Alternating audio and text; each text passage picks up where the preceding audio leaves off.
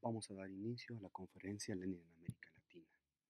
Esta conferencia, por motivos técnicos, será grabada y retransmitida el sábado 13 de junio a las 13 horas. Como es bien sabido, Lenin es una figura muy relevante para la tradición comunista y también para lo que podemos llamar eh, la corriente teórica del marxismo.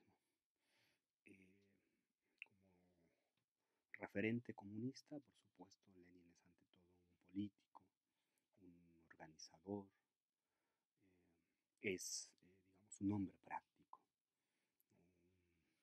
una figura en cuyo centro eh, se encuentra el secreto, además, de la victoria revolucionaria.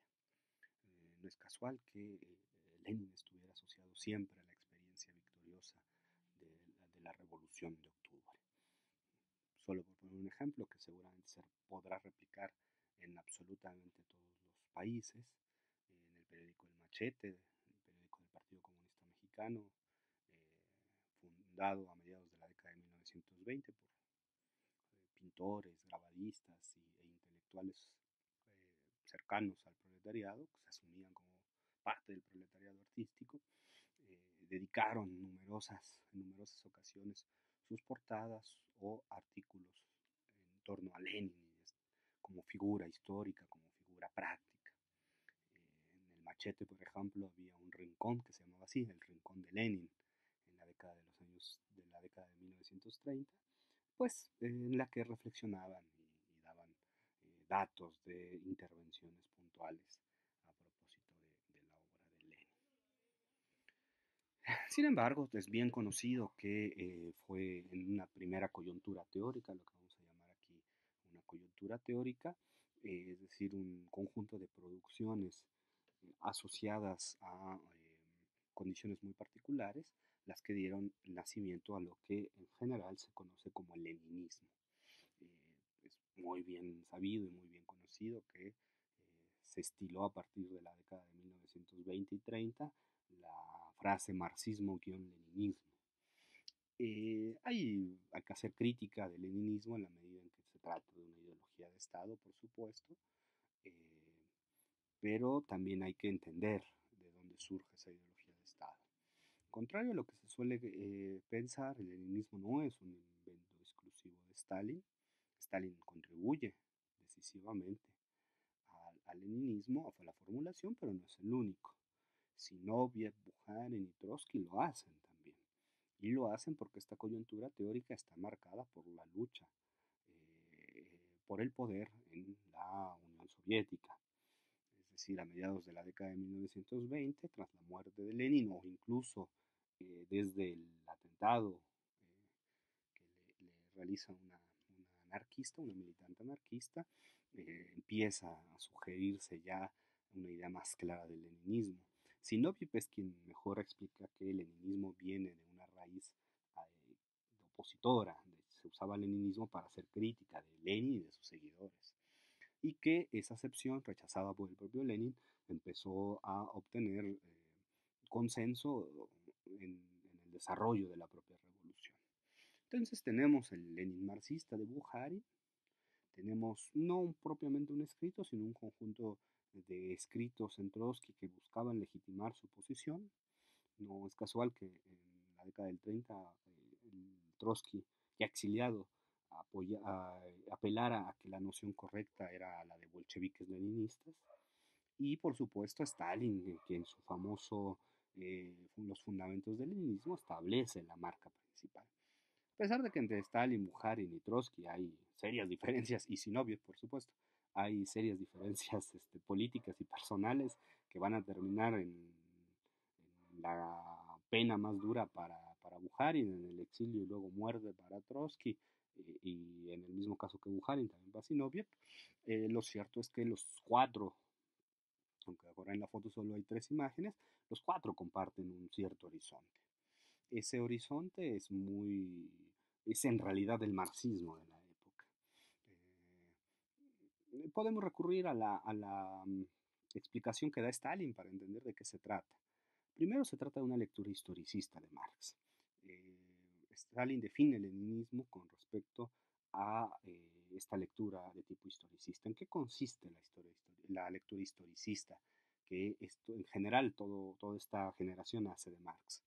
Eh, consiste ante todo en declarar que el capital es un texto eh, anclado en el siglo XIX que explica sobre todo el capitalismo inglés o, cuando más, el capitalismo de la libre competencia.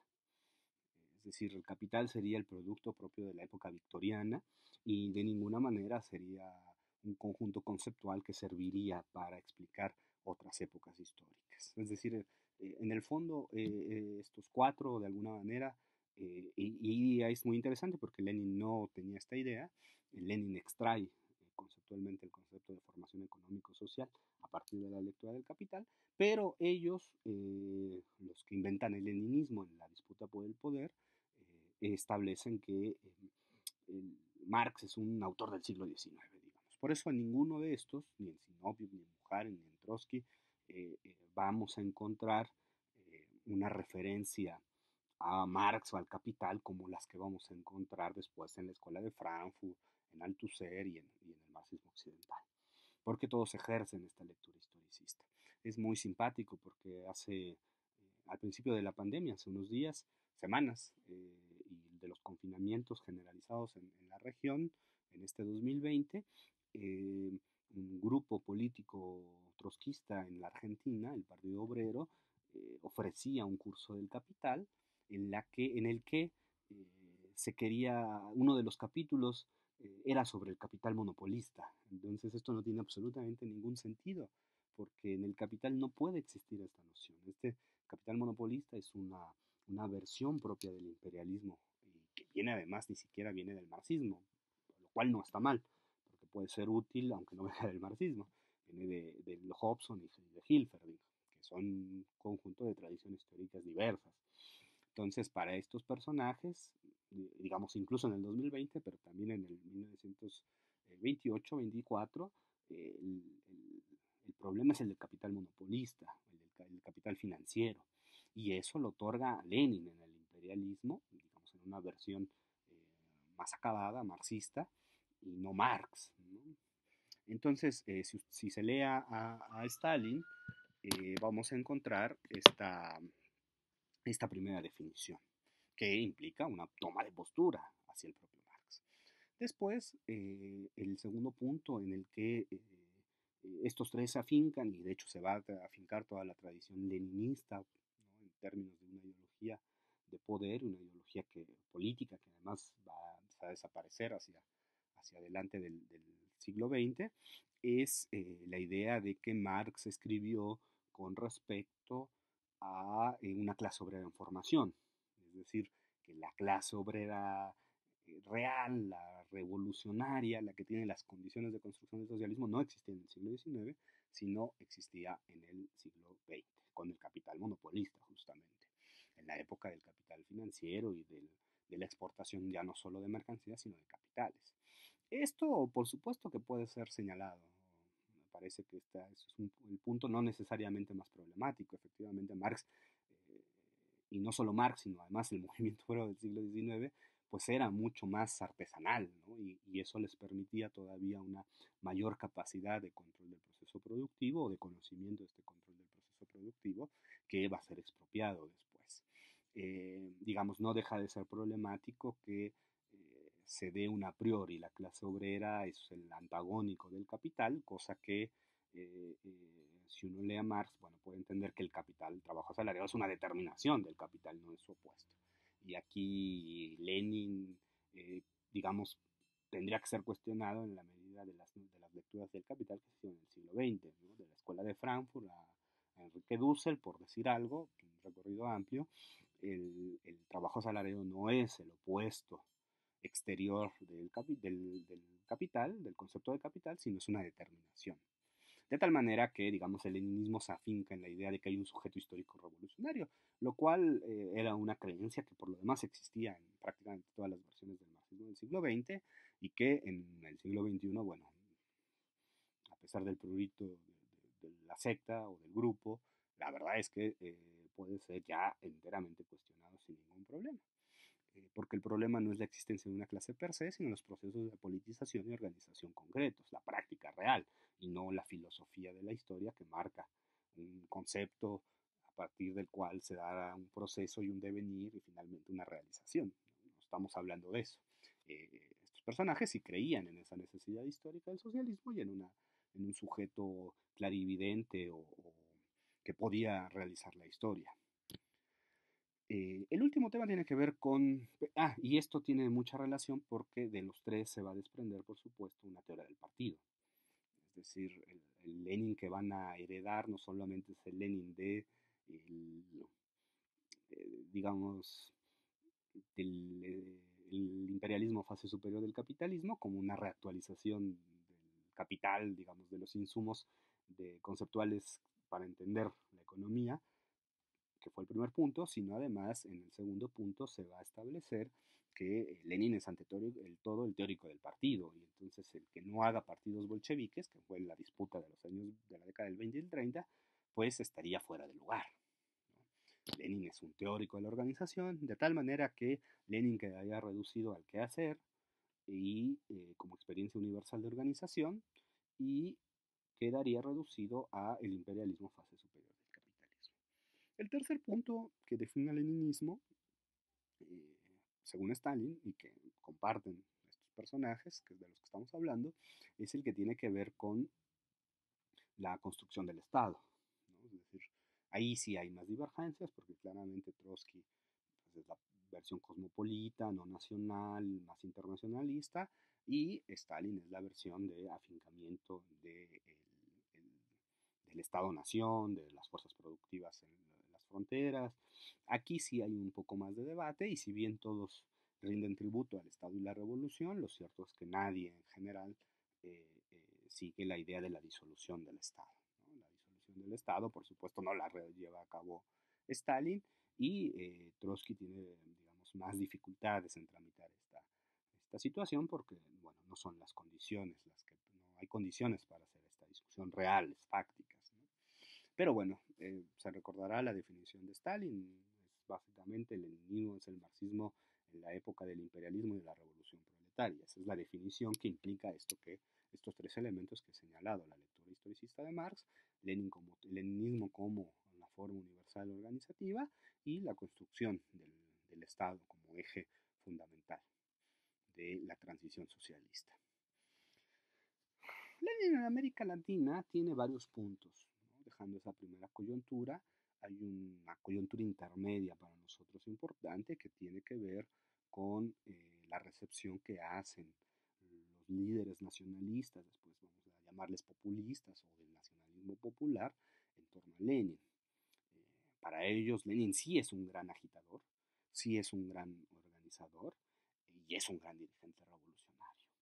Entonces eh, funciona muy bien y va a funcionar en distintos periodos. ¿no? Quiero comprometer eh, ninguna simpatía, eh, pero uh, Rómulo Betancourt, por ejemplo, va a ser leído en esta idea, en la idea del organizador, del gran partido eh, organizado, centralizado, disciplinado. Víctor Aya de la Torre también, por supuesto, sin ninguna simpatía por Aya de la Torre, por supuesto, pero, tiene ahí un vínculo, una acepción. Fausto Reinaga lo va a hacer también en, Bolivia con el tema indio o antes de, su plena comprensión del problema indio, de su comprometerse, Reinaga también hace parte de esto. Eh, Rómulo Betancourt, en Colombia José Consuegra, en México Cárdenas, todos ellos se van a referir a Lenin, a Lenin como un organizador, un dirigente, un constructor de Estado. Es decir, el Lenin del nacionalismo popular es ante todo el Lenin antiimperialista, por un lado, que el nacionalismo popular latinoamericano le sirve para enfrentarse a los Estados Unidos, por supuesto, pero también el de un organizador disciplinado, y eso en algunos casos, como el de Rómulo Betancourt, eh, que es uno de los formadores de partido, también es muy interesante. En caso de Haya o de otros, Lenin actúa un poco en una estela de Lenin como educador de masas. Entonces, la idea del periódico toma mucha centralidad en las experiencias organizativas como el APRA. Es decir, eh, eh, ahí es Lenin también tiene un vínculo, ¿no? como el dirigente comunista tanto, sino como el organizador. el pedagogo político.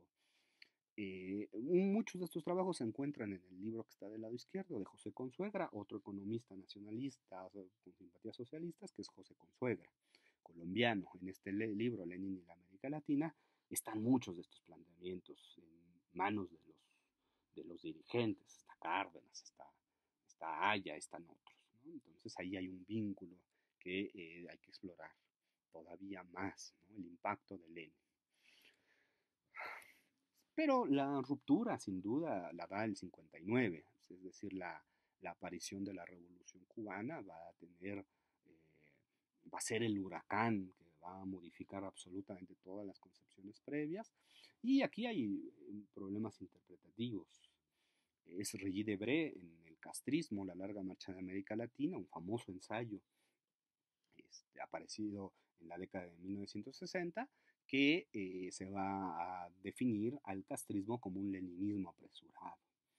Y aquí viene la propia tensión en torno al impacto de Lenin en Fidel. Es decir, Lenin en la Revolución Cubana y en Fidel está presente como el dirigente del nacionalismo popular todavía o ya está eh, digerido plenamente en una clave socialista. Entonces, de para Debrecht, claro que hay una clave socialista eh, y hay una, hay una relectura de Lenin. En, el, cartel del lado izquierdo eh, es muy claro esta relectura de Lenin y en el libro de Mirta Aguirre, Isabel Monal y Denia García es esta idea de meter la concepción leninista de la política ya expresada en el joven Fidel de la historia no absolverá, ¿no? Es decir, hay un intento, hay un juego, hay una operación de hacer equiparar ya no solo a Lenin como el, como el artífice antiimperialista, que era algo compartido por los nacionalismos populares, sino además eh, que en Fidel ya estaría actuando de alguna manera una concepción política eh, más cercana a la figura. Entonces ahí hay una disputa que, bueno, pues sería tema eh, para los anticomunistas es muy claro. Fidel ya siempre fue un leninista, este, fue un sovietizante, un leninista. ¿no? Eh, una visión más, eh, mucho más objetiva, más, este, menos anticomunista, bueno, tendría que problematizar la, la recepción de, de, Lenin en el propio Fidel y, y, después las recepciones que se hicieron en la propia Cuba cuando se trató de empalmar a Lenin con de Fidel y Regis Debré, por supuesto, pues es un momento tradición. Ya no solamente está Lenin, también está Mao, ¿no? Debré está muy influenciado, sabemos todos, por Althusser y por, la concepción de la dialéctica que extraen de Mao o que trabajan en Mao. Sin embargo, es en 1968 en adelante donde vamos a tener una nueva coyuntura teórica, es decir, ya una producción teórica real, concreta, eh, palpable a propósito de eh, Lenin. Lenin va a dejar de ser la figura de ornamento, va a dejar de ser eh, la cita, digamos, osificada. No quiere decir que no haya citas, estos trabajos están llenos de citas, sino que hay un, impulso en el marxismo latinoamericano de releer a Lenin. Y hay resultados muy diversos. No es uniforme, hay una, hay una disputa. En dado caso, eh, más allá de las limitaciones de algunos trabajos o de los aportes de, trabajos, habría que trabajar estos textos en los contextos en los que fueron producidos y eh, eh, a partir de las operaciones teóricas que realizan. y además encontramos personajes muy, muy diversos. Lo interesante para mí en este trabajo es que hay personajes, digamos, incluso en aceras contrarias y que todos reconocen que hay que recurrir a Lenin ya no como la figura que aseguraba que el marxismo era todopoderoso, sino como una figura mucho más trabajable, más productiva teóricamente. El más famoso de todos estos trabajos es, por supuesto, el de Rodney Arismendi, en gran medida porque Rodney es el gran dirigente del comunismo uruguayo, pero también es el puente con la revolución cubana. Recordemos que no a todos los partidos comunistas les gustó mucho la revolución cubana y cuando los cubanos obtuvieron también poder y una capacidad de decisión, por ejemplo en las reuniones de la tricontinental, eh, pues había tensiones. Así como los argentinos rechazaban a la revolución cubana, los comunistas argentinos tenían una seria reticencia, eh, los dirigentes cubanos, por ejemplo, tenían una gran reticencia con los comunistas mexicanos y, preferían a otros sectores de la izquierda. Es decir, eh, eh, se juegan aquí las tramas de la izquierda latinoamericana. Estos textos también son parte de la izquierda latinoamericana, no solo del marxismo como entidad teórica autónoma eh, en vínculo con la política, sino ellos mismos expresión de esta política. Aquí hay tres ejemplos, el de Rodney Ismeni, el más famoso de todos, que es el vínculo entre la tradición comunista y la nueva forma de intento de diálogo con la nueva forma que emerge de la revolución cubana, Está Núñez Tenorio, que también había sido un joven comunista, aunque después se separa, el venezolano José Núñez Tenorio, eh, que escribe un pequeño opúsculo en el año 68 llamado Lenin y la Revolución, y está el tomo 2, sobre todo, de Estrategia y Táctica Socialista, de Marx, y Engels a Lenin, de, los, diríamos hoy, filotrosquistas, después dependentistas, Vania Bambir y Totonio Santos. Es decir, estamos hablando de un comunista, de un excomunista y de eh, gente más cercana al trotskismo que están haciendo la misma operación. Esa operación es el Lenin como teórico de la acción. Ya no Lenin como el hacedor de verdades absolutas que funcionan para todo proyecto, para todo tiempo, para todo espacio. Es decir, están cuestionando a Lenin para sacar de él las concepciones, los conceptos de la acción política. Y eso es un ejercicio muy sugerente, habla ya que se están poniendo en cuestión las grandes, eh, los grandes dogmas, las verdades, como diría Elías Palti, las verdades del marxismo están cuestionadas, sujeto histórico, partido, eh, todo eso está cuestionado, es decir, hay que estar, darle una vuelta más y ver cómo están funcionando las categorías políticas. Eh, mm, me gustaría llamar que este periodo es un intento de búsqueda de una ciencia de la coyuntura. Lenin es el científico de la coyuntura, no dicho por ninguno de ellos, nombrado por mí leyendo estos tipos, eh, Lenin funcionaría como, como el Maquiavelo del marxismo en la medida en la que eh, apunta a la fortuna y a la virtud, a condiciones necesarias y a contingencias. Pero en medio hay la acción política entre estas dos, fortuna y virtud, necesidad y, contingencia, y Lenin les da los elementos para pensar eh, las fuerzas de la política, los tiempos de la política, los resultados y las acciones de la política. Por supuesto, no dejaron de haber temas clásicos en la reflexión del marxismo latinoamericano. Ejemplo clarísimo de esto es todavía muy atado a la noción del leninismo, eh, digamos a la noción del leninismo heredada de la discusión soviética de la década del 20, como es el texto, famoso texto publicado tanto en México como en Argentina, en, bueno, en La Habana, eh, llamada La teoría leninista del imperialismo, donde eh, Alonso Aguilar, un importante intelectual de izquierdas mexicano que venía de la tradición nacionalista, era Alonso Aguilar, para los que no son de México, era, un, era cercano a un nacionalista revolucionario, un gran socialista, un gran intelectual llamado Narciso Basols, era su hijo intelectual, podríamos decirlo, pasó a ser un hombre de la primera mitad del siglo XX, eh, y Alonso Aguilar coincide con Lázaro Cárdenas en la fundación del Movimiento de Liberación Nacional en apoyo a Cuba, gran, en gran medida gracias a Cuba. Eh, la radicalización de eh, Lázaro Cárdenas tiene que ver también con, esta figura de la Revolución Cubana y Alonso Aguilar va girando hacia digamos, una tradición más leninista, ortodoxa, por llamarle de alguna manera. Pero también, por supuesto, hay temas nuevos, y el más famoso es, por supuesto, un libro rojo para Lenin, este gran montaje que Roque Dalton produce. Es decir, ahí estamos ante un Lenin nuevo. Por lo demás, eh, podríamos dedicar todo un programa a la poesía dedicada a Lenin de Mayakovsky, a, a, a los poetas cubanos, pasando por Dalton y por Santoro y por otros. Es decir, Lenin también es una presencia poética en, el mundo.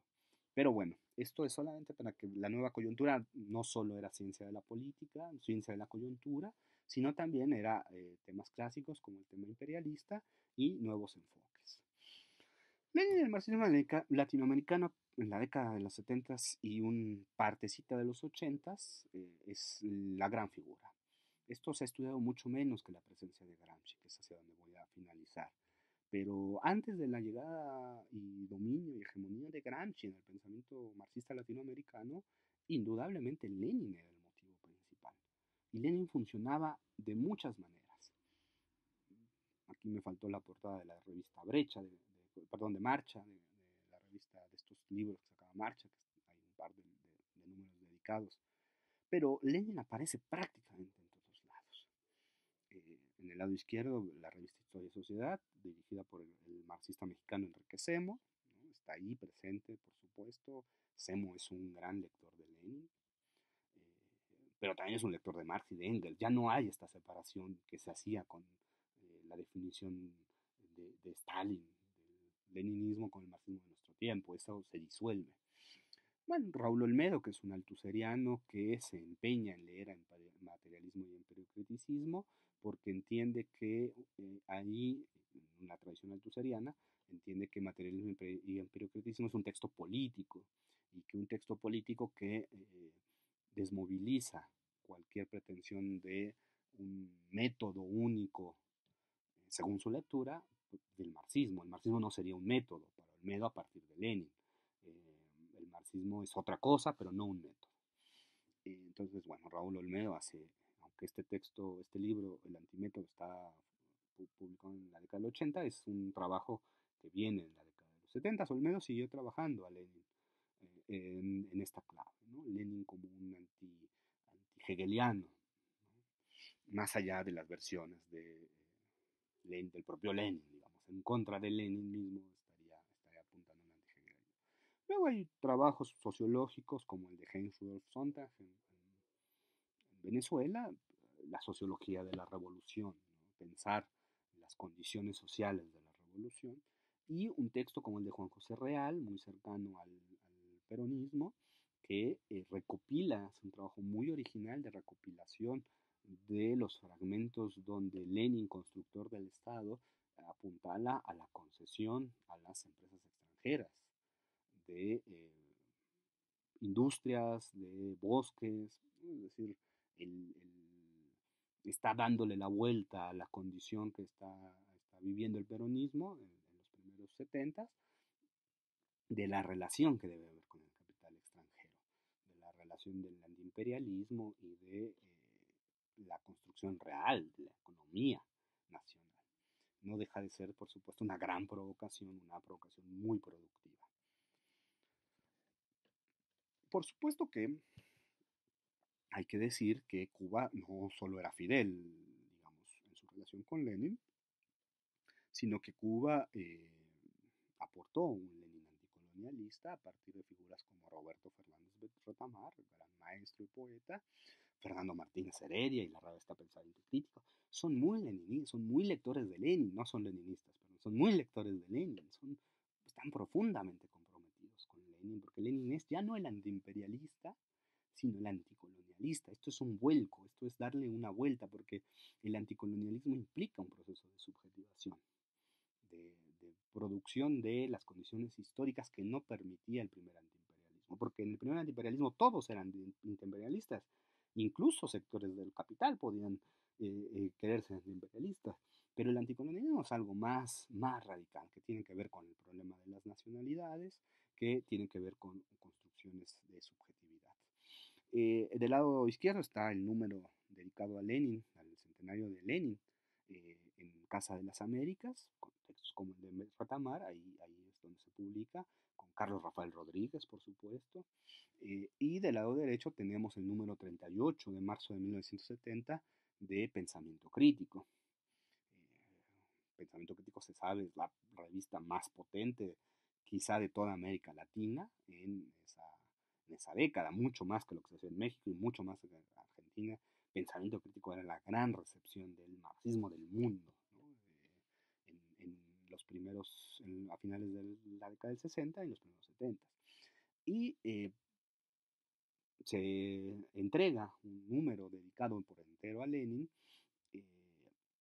con un prólogo, no está en el índice dicho, pero el texto del marxismo de Lenin es un prólogo de Jesús Díaz. Eh, Jesús Díaz hace una lectura, sobre todo, del último periodo, por supuesto, de la vida de, Lenin, de la producción teórica de Lenin. Este, este, este texto del marxismo de Lenin después va a aparecer en el Cuadernos de Pasado y Presente de Buenos Aires. Va a aparecer unos años después. Después se sabe que Jesús Díaz desertó de la revolución hacia, hacia finales de la década de los 80, desertó eh, y se fue a Madrid a hacer un trabajo intelectual eh, cuestionando la revolución, pero digamos, el primer Jesús Díaz es además no solamente un novelista o un escritor de cine, sino también un teórico importante que acompaña a Fernando Martínez, al gran Fernando Martínez, en la construcción de pensamiento crítico.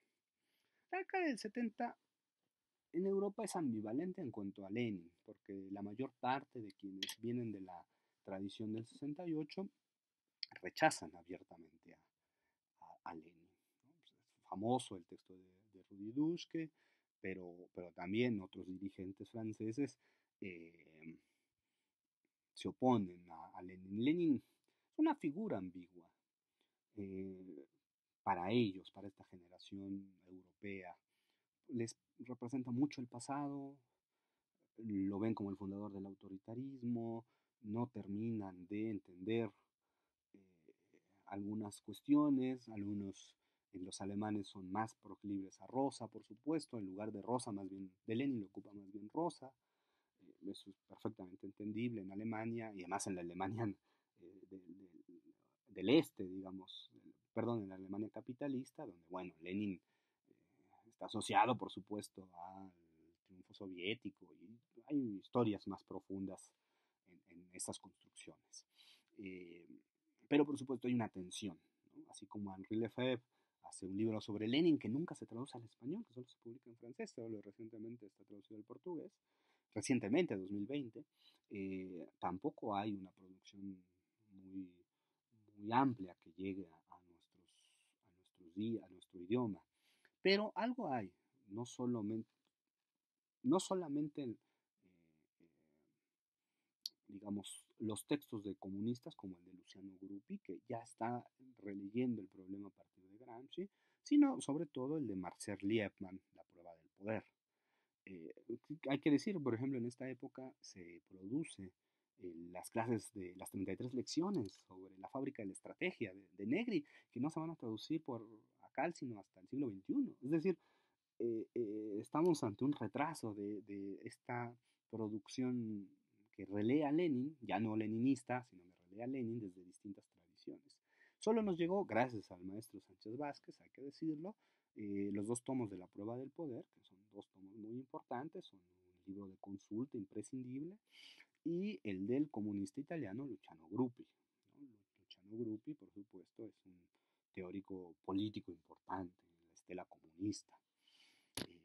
Pero bueno, digamos, en Europa también hay tensión, hay renovación, está Negri, por supuesto, está el propio Althusser, que hace Lenin en la filosofía, y hay, eh, bueno, está el discípulo de Althusser en España, Gabriel Albiac, que hace eh, cuestiones de leninismo, eh, que es, son, son, temas, son libros que le dan la vuelta a Lenin, más allá de la versión tradicional. El último coletazo de Lenin en América Latina estuvo dispuesto a partir de tres intervenciones, sobre todo, aunque no quiere ser de las únicas, pero que ya muestran el declive de, Lenin. De un lado, Marta Harnecker, que se esfuerza en continuar con la lectura de las categorías para el análisis político, en diálogo además con las guerrillas, eh, sobre todo centroamericanas, y eh, Marta, Marta nos entrega un brillante texto que se llama La Revolución Social, Lenin y América Latina, un poco jugando, me parece, con el con el texto de Rodney y donde ella, eh, digamos, hace guías pedagógicas para el análisis político de las fuerzas populares. Ya no, ya ahí ya el horizonte de clases está más disuelto, ahí ya son las fuerzas populares, porque la coyuntura, eh, que ya no es una coyuntura revolucionaria tan radical como la década del 70, eh, apuntalan a estos espacios en Centroamérica que siguen siendo los nichos. Guatemala muy débil, la Nicaragua triunfante, por supuesto, y El Salvador en un punto intermedio.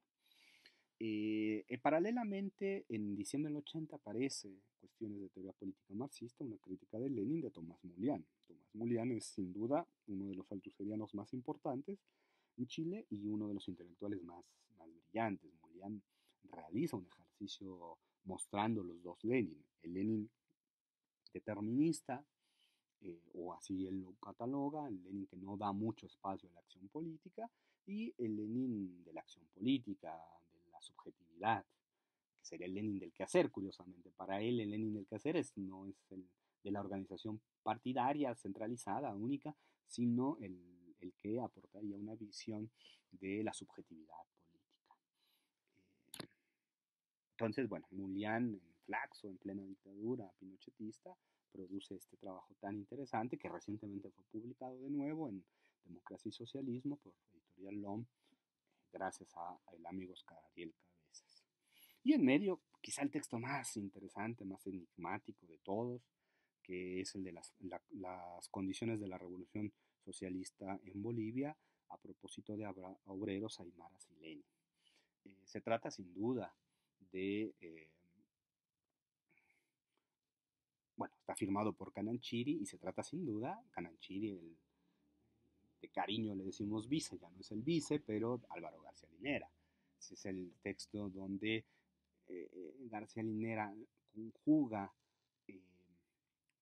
la lectura de Marx que aprendió en México, particularmente de Bolívar Echeverría, de, de Dussel, cuestionando, cuestionando la idea de las fuerzas, que las fuerzas productivas iban a dejar necesariamente un proletariado fuerte, al contrario, sostiene la tesis contraria, eh, a mayor desarrollo de las fuerzas productivas, eh, técnicas capitalistas, menores la capacidad de subjetividad de la clase trabajadora. Entre más crece el capital, esa parte del capital, menor es el poder de eh, esa determinación del capital que es el trabajo salarial. Y ahí, en esa disputa con nacionalistas y con trotskistas, eh, se mete con Lenin. ¿no? Le, funciona muy bien para pensar la política, ya no solamente un desarrollo conceptual eh, amplio, que bien puede ser antipolítico, el de las fuerzas productivas, sino también el de las formas específicas de la subjetividad. a propósito de obreros, Aymaras y Lenin es sin duda un gran ejercicio previo al, encierro carcelario de, de Cananchiri, de García Linera, eh, muy sugerente. Es quizá el texto más sugerente de esta época. Ya estamos a finales de la década del 80. Con esto no quiero decir, por supuesto, que no haya otros que hayan leído a Lenin. Pienso en un Carlos Pereira en México o un Bolívar Echeverría, ecuatoriano mexicano, que tienen eh, sus pequeños escarceos con Lenin. ¿no? digamos, la tradición consejista, a diferencia de Europa, no es tan fuerte en América Latina, pero ah, está presente en la lectura que hace eh,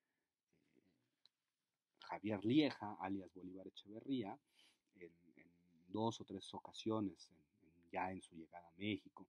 Adolfo Sánchez Vázquez en esta época también lo incluye como críticamente, como solía hacer el maestro Sánchez Vázquez, lo incluye como un capítulo especial de su filosofía de la praxis. Le dedica un capítulo en la segunda edición de Filosofía de la Praxis, que es de 1980, eh, a Lenin. Es decir, es, digamos, hay una tensión sobre qué se, se va a hacer con Lenin en este, en este periodo.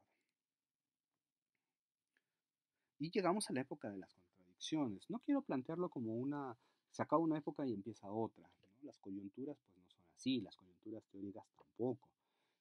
Es decir, hay perspectivas de continuidad y de ruptura, de hilos que siguen corriendo y por supuesto de aquellos que se cortan. Eh, en dado caso es muy conocido y por eso elegí la, la portada de Raúl Burgos sobre los gramscianos argentinos. Como la década de 1980 es más gramsciana que leninista, o que leniniana, para no usar leninista. Es más Gramsci que Lenin. Es decir, Lenin o Gramsci empieza a ocupar eh, ya no solo un lugar al lado de Lenin, sino incluso a sustituir a Lenin. Y eso tiene explicación, por supuesto, no en el voluntarismo de algún traidor o un reformista, un pequeño burgués o alguna cosa por parecida, eh, usando palabras que se suelen usar en, los sectarismos de la época, sino sobre todo, eh, pues hay un cambio de correlación de fuerzas, el advenimiento de los procesos de transición, de democratización, por supuesto, vuelven mucho más palpable, mucho más inmediato a Gramsci que a Lenin. Eso sin duda. Con todo y que Lenin es el creador de la idea de la guerra de, posiciones. Eso está, tomo 35 de las obras completas, está. Dicho escuetamente quizá, no tan desarrollado como en Gramsci, pero está. En dado caso, Lenin no parece ser un político adecuado para tiempos democráticos y eso lo sabemos nacionalmente, las izquierdas entran en crisis. Las, izquierdas van a entrar eh, lentamente en procesos de degradación. Va a haber de todo en, en, esta década, ¿no? en la década de los 80 y hay algo claro, el, el horizonte es gramsciano, es Gramsci, la llave. Las puertas de comprensión de muchos fenómenos se dan a partir de Gramsci. Bueno, y después viene la crisis del socialismo y por supuesto el ver las estatuas de Lenin desmontadas, pues no ayuda mucho, ¿no? No, hay, no hay muchas ganas. Es la época donde la gente, los conversos, conversos empiezan a aparecer y, y relatan su experiencia. ¿no? En esto hay una literatura que habría que ensayar casi que psicoanalíticamente, este, una literatura que habría que leer casi psicoanalíticamente, ¿no? la literatura de los conversos, eh, que pues renegarán, por supuesto, con razón o si no, pues es absolutamente subjetivo, pero que van a plantear pues la huida, el abandono de todas las conceptos, incluso las de Gramsci. Pero bueno, en la izquierda queda claro que Gramsci se vuelve un motor, una brújula importante. Estamos ante el adiós de Lenin. Eh, hay cosas recientes, no fue un adiós absoluto, por supuesto. Yo catalogaría esta nueva coyuntura teórica que se ha venido labrando desde la aparición en 2002 de una edición del Quehacer prologada por Atilio Borón, con un gran, gran prólogo de Atilio Borón, texto muy bello, en la editorial Luxemburg, que fue una editorial que Borón eh, tuvo a bien impulsar, y ahí, ahí se marca, me parece, el inicio de una nueva coyuntura teórica. Eh, por lo demás, en la exposición anterior, en los periodos anteriores, se puede hablar del anti-Lenin, el anti-Lenin de Oscar del Barco, de, anti-Lenin de Jorge Veraza, o sea, de Carlos Mayamiba, es decir, Lenin también es una figura cuestionada dentro de los marxismos, por supuesto. Pero bueno, ahí estamos celebrando al camarada Lenin, 150 años, no, no, no vamos a dedicarle mucho tiempo a, los críticos. Eh, lo más reciente, del lado izquierdo, el, el texto de la filósofa cubana Natasha Gómez Velázquez, Palabras de Lenin, conclusiones de hoy, una relectura interesante desde la Cuba revolucionaria de, de Lenin y al lado derecho el Lenin, la pregunta del viento de nuestro amigo Néstor Cohen, ¿no? que son textos más recientes, en los últimos cinco producidos en el último lustro, que dan cuenta bien de algunas de las características de relectura de Lenin. ¿Qué Lenin la hipótesis que, sosten, que sostengo y que quisiera desarrollar más adelante en otros momentos, en otros trabajos, sobre todo de manera escrita, que es mucho más perdurable, me parece, es la hipótesis de que el Lenin que más le sirva a la coyuntura reciente de América Latina y que por ello Borón había dado en el clavo, es el último Lenin.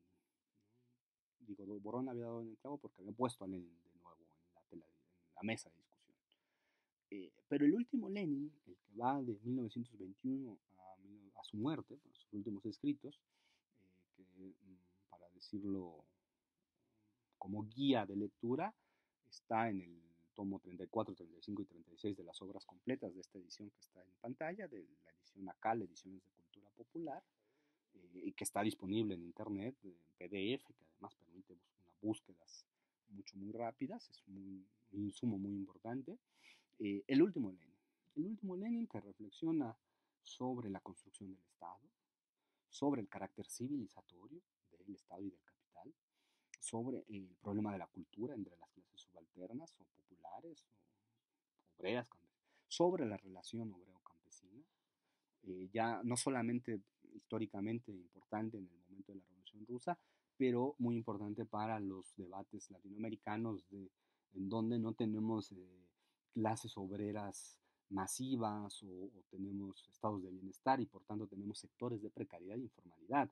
El campesino ruso eh, eh, que necesita comercial pues funciona mucho como nuestros sectores populares anclados en la eh, precariedad. Es decir, no están atados a la industria y al mercado formal, están por fuera. Entonces, creo que si uno hace ejercicios, por supuesto, pensar la época contemporánea latinoamericana, ese Lenin puede servir, no digo que sirva ni que se trasplante, pero puede servir. Particularmente Lenin que piensa la construcción del Estado. Lenin piensa, ya no piensa anarquistamente en, el Estado y, la revolución, vamos a disolver el Estado, piensa en la necesidad del Estado, piensa en su fortalecimiento, pero también en su debilitamiento, y, ahí, ahí hay un doble juego fortalecer el aparato para hacerlo eficiente. Fortalecer el aparato estatal es hacerlo efectivo, real, concreto, eh, operacional, pero debilitarlo al mismo tiempo. Es decir, no crear eh, aspectos burocráticos. Y Lenin se enfrenta en esta época, si, si se le sigue, pues a esta dicotomía, o formamos eh, cuadros o nos come la realidad.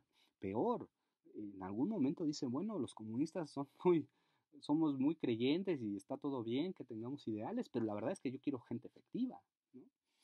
Eh, esto, eh, tomo 34, 35, 36 de las obras completas, van a encontrar este Lenin. Es un Lenin que está pensando en la contradicción de la construcción estatal. En un país que viene de una guerra civil, digamos, nosotros no tuvimos guerra civil, pero tuvimos neoliberalismo, que fue una especie de guerra contra los pueblos, lo sabemos. Eh, y en un momento en el que, eh, digamos, en las últimas décadas, las izquierdas, no necesariamente lectoras de Lenin, prácticamente diría que ninguna, eh, pues se enfrentaron al reto de eh, fortalecer el Estado en algunos puntos, pero tampoco excederse, necesitaban cuadros, necesitaban explotar el carácter civilizatorio que tiene evidentemente el Estado, frente a esa otra potencia que es el mercado.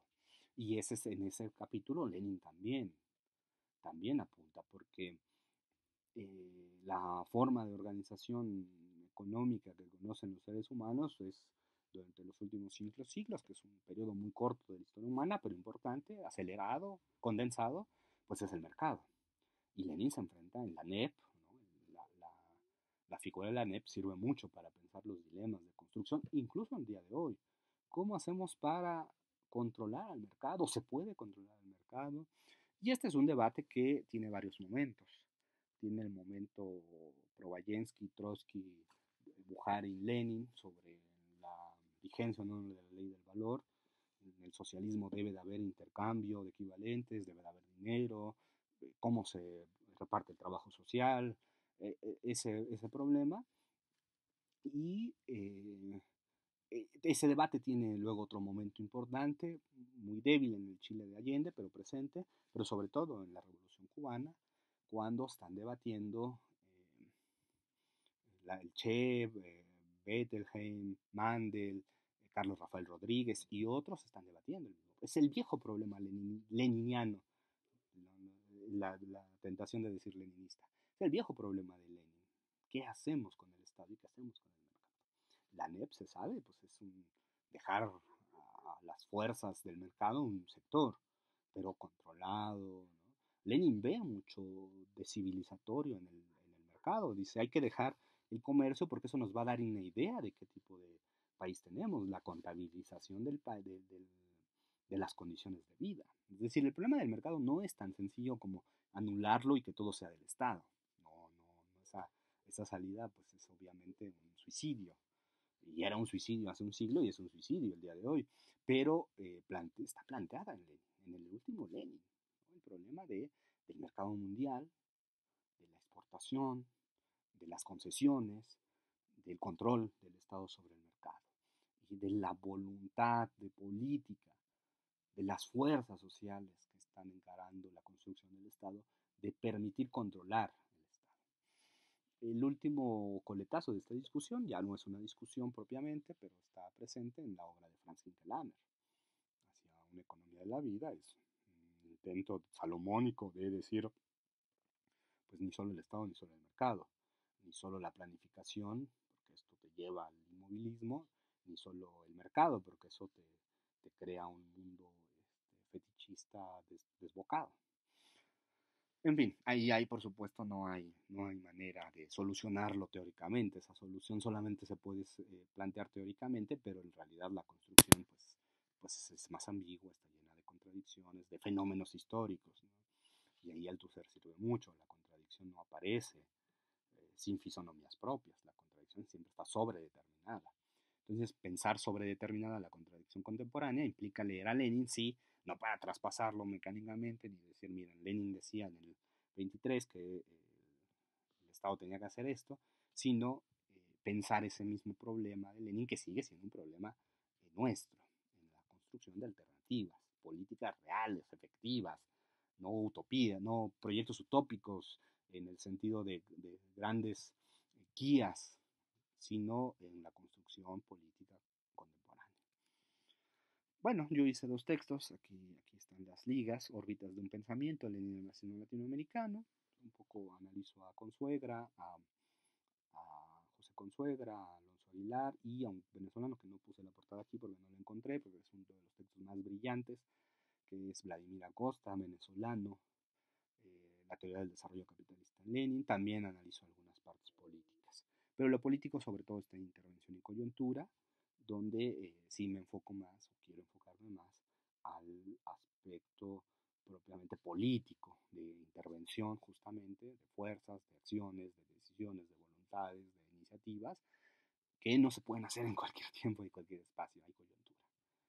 Y esto es indudablemente una deuda con Althusser, porque Althusser, a diferencia de Lukács, eh, por cierto, el texto de Lukács, Lenin, la vigencia de su, la coherencia de su pensamiento, me parece un texto mucho más anclado a la tradición leninista de esta que hablé al principio en esa acepción.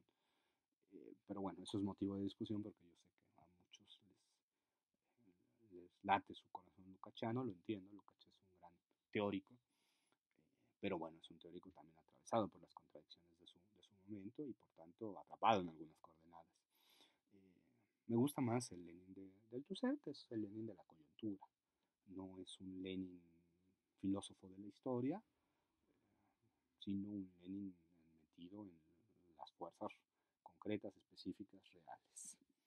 Bueno, de tal manera que eh, cerramos esta intervención que espero les suscite eh, preguntas a ustedes mismos y que pueden dejar aquí y que podemos platicar en el transcurso de la semana. Un abrazo en estos días tan difíciles.